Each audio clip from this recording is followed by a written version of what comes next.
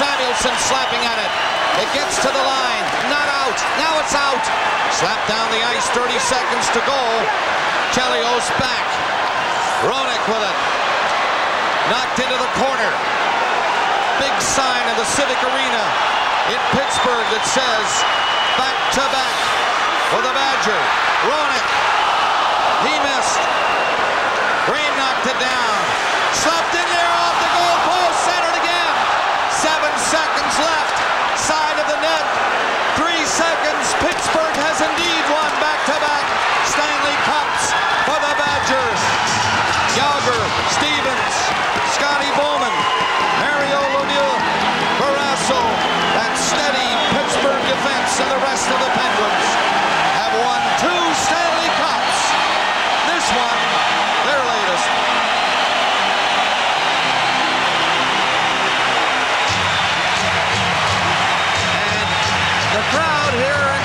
Chicago on their feet, applauding, I know, the Chicago Blackhawks, but I also know they're appreciating the effort of the champions again, the Pittsburgh Penguins. Without question, you know, winning the cup is what you get by reaching your destination is not nearly as important as what you become by reaching that destination. A champion, the best in your business.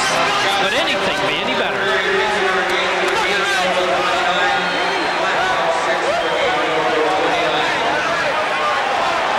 It's a bitter pill to swallow, especially if you're Dominik Hasek, who played so well coming in in a tough spot. You have to give credit to everybody in the Pittsburgh organization. What about their scouts? Les Binkley, Billy Gardner, Greg Malone, here at the rink, and Charlie Hodge, home in Vancouver. They all had were part of the reason that this team could win. Their assistant coaches, we don't hear those guys very often. Pierre McGuire, Gilles Meloche, Barry Smith, Rick Paterson, all of them contributing to the joy that the Pittsburgh Penguins are showing now. Rick Kehoe, another assistant coach. And the two teams cross at center ice now. And the handshakes are on. Chicago congratulating Pittsburgh. They came a long way, these Blackhawks. Did a pretty fine job in these playoffs until they ran into, without question, the better team here in the final, the Pittsburgh Penguins. Well, none of the games were blowouts. Two boys from French Canada, Goulet and Lemieux, exchanging pleasantries. You know, when you have the best player in the league and you get a supporting cast that knows it, makes it an awful tough team to beat. Tom Barrasso was terrific. Both goalies were great.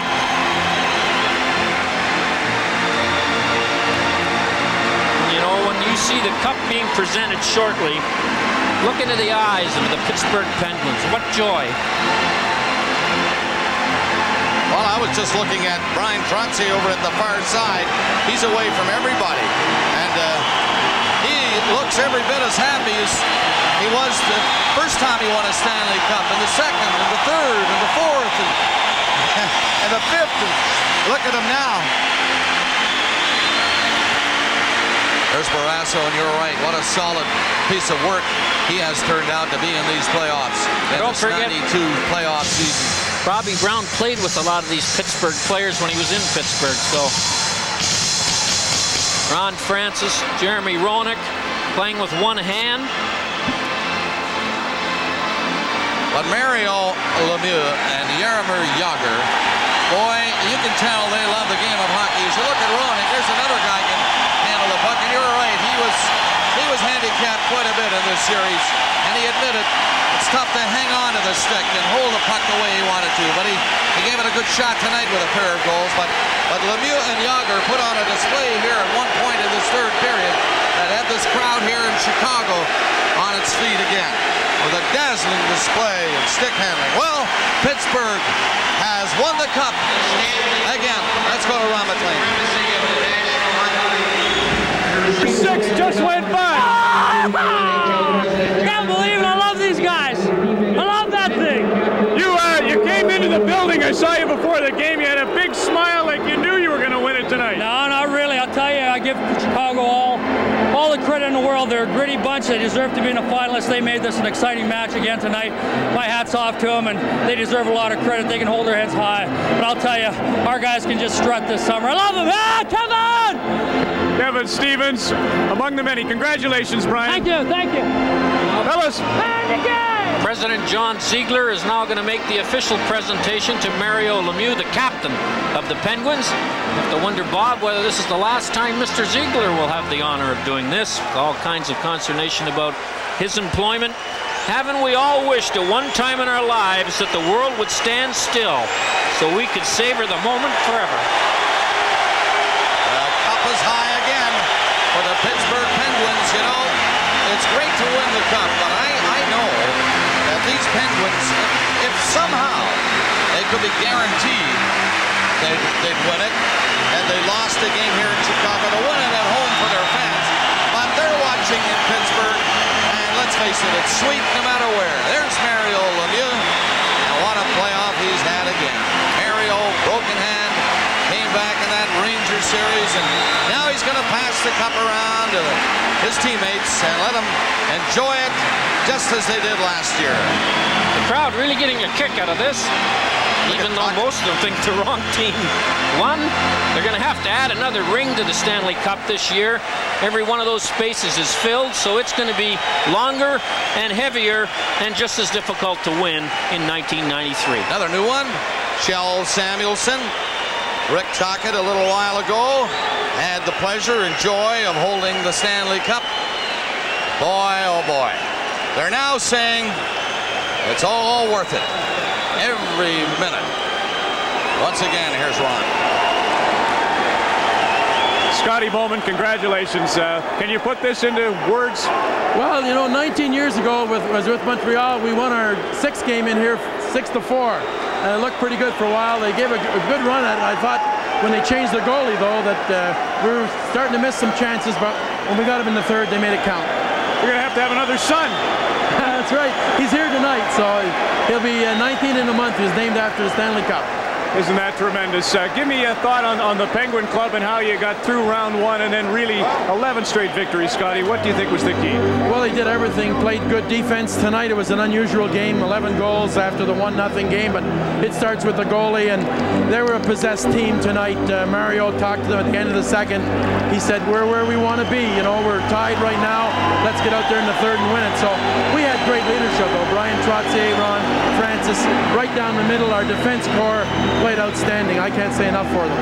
And nor can we about you and your uh, performance. It's uh, great. A year ago, we, we shared it. A couple of years ago was Hockey Night in Canada, and uh, you really deserve the moment. Well, you know, Bob Johnson, uh, he started all this, and uh, everybody continued it. So I'd like to say hello to Bob because I know he's with us. Can't top that. Gentlemen. Thank you very much, Ron. Scotty, not only is he a great coach, he's a modest coach, Harry. He had uh, more to do with this win than he will admit, of course. And he was very kind to mention the late Bob Johnson there. He started this, indeed he did. But Scotty was in a tough position when he took over. Uh, his style is different than anybody else's. And in this particular series, we probably saw the best two bench coaches in the game today in uh, Mike Keenan and uh, Scotty Bowman. Well, Ron is down at uh, ice level again. He has another one of the stars of the Penguins, Tom Barrasso. These wide eyes belong to Tom Barrasso. What are you thinking?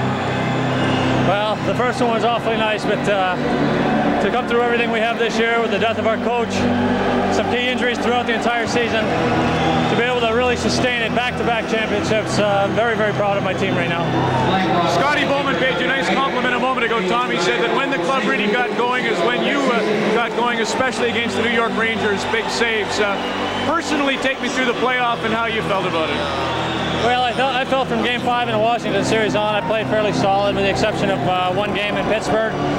I was fairly pleased with uh, with how things progressed. Uh, we needed a big win in here in Game 3, and I, I was ecstatic with how I was able to perform uh, tonight to be able to finish off with a win with the pressure they had late in the game. Obviously, very pleased and uh, like I said, just very very happy to be part of the team right now. You know, it's funny. You got the shutout the other night. Uh, tonight you give up five, but I think you played maybe as well. The Hawks really were pressuring, and uh, you may want to give them credit as well as your own defense. Well, tonight was the type of game we played during the regular season. They had two tap-in goals, uh, one play in front of the net, and a rebound on a breakaway. So uh, that's the type of hockey you see us play during the regular season. It's not been typical of what you've seen in the playoffs, and uh, that gives you some idea of what we deal with on a nightly basis over the 80-game schedule. Well, there goes Lord Stanley with the, the captain and MVP of the Stanley Cup West. Tom Barrasso, congratulations. Thank you very much. Tom Barrasso backstops the Penguins to their back-to-back Stanley Cups. There goes Mario with the cup. Right behind him, Ulf Samuelsson and Tom Barrasso. Boy, what a happy group. Uh, I don't know. I, I guess you, you, you'd have to you'd have to be on a Stanley Cup winner, Harry, to really know what it's all about. Uh, there's Phil Bourque. And Phil Bourque's wife, you know, the wives, they go through quite a routine for two months while their husbands are trying to win this trophy. And they ought to be credited with putting up with it. They forgot the team picture, Bob, and now they're going to get it. And this has become something the Edmonton Oilers started, as you recall. Well, this is great. The players in the white sweatshirts, the people in the white sweatshirts, most of them are the extra players that practiced every single day, trying to get ready in case they were called upon. Same as last year. Trache on the very front row, flat on the ice, spread eagle, and the big smile. Well, they're all smiling, of course. They're your champions for 92. And this uh, year of frustration, what with the players' strike, and at one time we didn't know we'd have a playoff. Well, in fact, we did. And it's all forgotten now, at least for tonight. And here are the champs, the Pittsburgh Penguins. Two in a row. Boy, they had to come from behind many times to get this far in this playoff year. So that shows a lot of character, indeed. Well, this was the only series they didn't get behind in. And when you're down 3-1 and playing the Washington Capitals in their rink in game five and seven, then you've uh, certainly uh, uh, earned the uh, the right to tote this thing around the rink. There's Howard Baldwin with his championship baseball hat on. You know, this team was uh, up for sale, and there was a lot of uh, worry about whether the franchise would even stay in Pittsburgh when DeBartolo sold it to Baldwin and Belzberg. So. Ron, Ron Francis, Harry, now with the cup.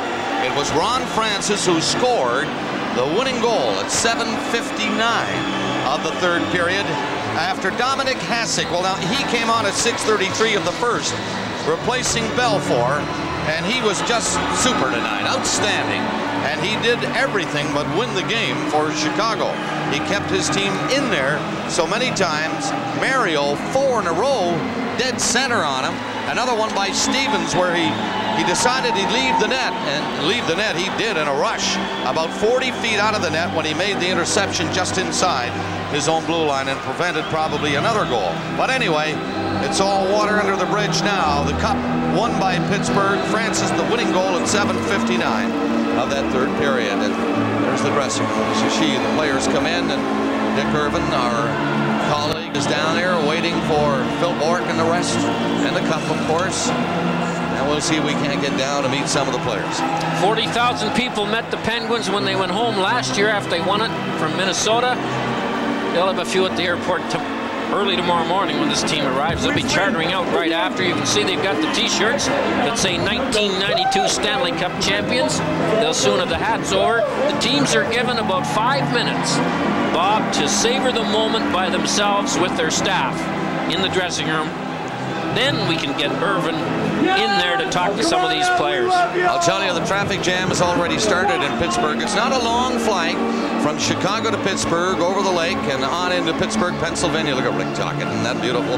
Gordy Roberts, many thought his career was over when he was uh, sent by St. Louis to the minor leagues. Scotty Bowman scouted him last year and said he was the best defenseman he saw in the International Hockey League. They made a deal for him, and here Gordy's been on two Stanley Cup champions and been a contributor to both. Pittsburgh has won their second cup in a row with a thrilling 6-5 victory tonight at the Chicago Stadium in Chicago, Illinois. Here's the longest lap of your life. Game tonight at Chicago, 6-5 victory by the Penguins. for their second Stanley Cup in a row. And the three-star selection. The Molson three stars tonight. Mario Lemieux had a goal and two assists. Logged the usual number of minutes on the ice, killing penalties and whatever. Dirk Graham had three goals for Chicago's star number two. And the third star in tonight's hockey game, hard-working Rick Tocchet, who chipped in a goal and two assists himself. So the Molson three stars, Lemieux, Graham, and Tocchet. And here is Dick Irvin. Well, thank you, Bob. And before we get to the Penguins of today, a memory of the Penguins of yesterday. Bob Johnson's widow, Martha Johnson, is here, very much still a part of the Penguins family, and I know you've got a lot of memories, mixed emotions, but I know you're very happy for the hockey club. Really happy for the hockey club. Uh, no one thought we'd be here, but we're here. You know, Bob Cole mentioned at the end of the show that but the sign in the arena said, back to back for the Badger. They did it, and I know you're proud of them. There'll be another set of flags going up, and I can hardly wait. Martha, it's great to see you here as part of the Penguins still, and some great memories. Thank Thank you. All right. Martha Johnson. Bryan Trottier is next. Brian, you won't remember this, but I do. When you won your first Stanley Cup in 1980 with the Islanders, I interviewed you on the ice at the Nassau Coliseum. I Here, remember it vividly. There's not too much you don't forget when, when it comes to Stanley Cup time. No, I remember it vividly. Thank you. 12 years later, it's Cup number six for this young man. I saw you in the front of the line there. It's just as big a thrill, I'm sure. Absolutely. And my hat's off to the Chicago Blackhawks organization. They're a great club. They made this an exciting series. They can hold their heads high. Yeah, okay. Absolutely. Was there a time this season when you kind of, maybe in the playoff year, and you said, hey, we're going to do this again? Um, you know, it, it, when the playoffs started, you know, we all of a sudden everybody felt pretty healthy, and uh, then you just kind of things take over and you get in a groove. And then when we got past Washington, the guys started to feel a little more confident, a little more reassured, and, and kind of gel together. I think there was uh, there was no real one moment, but guys just kept felt and get stronger and stronger and stronger. Hello, mom. Mike Bossy, when I got the Hall of Fame, that crazy guy's still playing. Well, you're still playing. Hello, Mike. In case you're watching English, I just said hello to him on the French TV. Congratulations, Just in case Brian. I missed him. Thank you. Just terrific. Now we have the Conn Smythe Trophy presentation. Okay, NHL President John Ziegler. Uh, John, you can do the honors. Thank you very much, Ron. As our great friend Bob Johnson would have said, it was a great day for hockey. And your team was outstanding and deserved to win. And Mario, among all the great players, your play was the best. Once again, congratulations on being the 1992 Conn Smythe Trophy winner. Well done. Appreciate it. Go ahead, Mario, your comments. Well, uh, I think it was a great effort from, from everybody, not only myself because I won this trophy, but uh, Tommy Barrasso was superb. I've said that last year. Without him, uh, we couldn't have won the cup. And again, this year he was uh, superb in, uh, in every game, and uh, he was the key for us again to, to win the cup. So I'm certainly going to share that with Tommy. Tell me about your family. Did you fly them in again tonight? I heard a rumor. Yeah, they were uh, they were all in. Uh, they were in Pittsburgh, and uh, when we won Game Three, Uh, they came down uh, yesterday. And uh, you know, it's always a lot of fun when you win a cup. you want to have your your parents and your friends around you. You mentioned last year you missed most of the fun in the room, so we keep it sweet and short. Congratulations on the, the news about your wedding and uh, your second Stanley Cup. Thank you. I appreciate it. Thanks. Thank My thanks to Mario Lemieux, the Conn Smythe Trophy winner, and the National Hockey League President, John A. Ziegler, Jr. About halfway through this season, I said to Ron Francis in Montreal one day, you know, Ron, remember when I interviewed you after you won the Cup, and he said, you can keep that trend going as long as you want. Well, Ron, here we are again. And the winning goal, it will be recorded for posterity, 1992 Stanley Cup, Ron Francis. Last year, a part of this team for half the season, or not even half. This year, a full-fledged member. How does it feel? Any different? Well, it feels a lot different this year. Last year, it kind of came in the end of the season, like you said, and, and everything was happening so quick. It was almost like a blur. But uh, this year, I got the whole season in. I feel a lot more part of the club, and, and uh, what, a, what a great feeling at the end of the year. A lot of people said this will be a tough, hard final, maybe seven games. Just swept them. Well, we, we thought at least six or seven. I mean, and, and you look at the games, even though we won four straight, it's a lot of close hockey games, three one-goal games, and, and they could have won either way. But uh, this hockey club showed a lot of guts, and they battled hard and came out on top. Well, you showed a lot of guts, especially when Mario was out. Congratulations, Ron, on the cup-winning goal and the victory. Thank you very much. Just want to say a quick hello to all family and friends in Sault Ste. Marie, some friends in Toronto and Edmonton. Thank you. No problem. Come in here, Rick Tocchet. Rick came from the Philadelphia Flyers. Rick, you were quoted, I read one time after that Washington series, as saying, this team just doesn't lose its cool, and you were amazed at their reaction down three to one. You got to still be amazed. Well, uh, this team has composure. Even when you lose, uh, the team the team has the same kind of uh, feeling when you win. It's kind of an even keel, and I got a lot of respect for this club. Okay, the, the, the Chicago Blackhawks, uh, you look at the four straight, but a lot of people talked about that Washington series. The turnaround came in against Washington. Yeah, well, we, we beat Washington. Uh, we, we changed our, went to a defensive style, and the, and also the key was we were down 4 2 the Rangers. They were beating us 2 1 in the series. They had a five minute power play with nine minutes left. We came back to win. The Hogs scored an overtime goal, and uh, right from there, we just knew that uh, we couldn't be beat.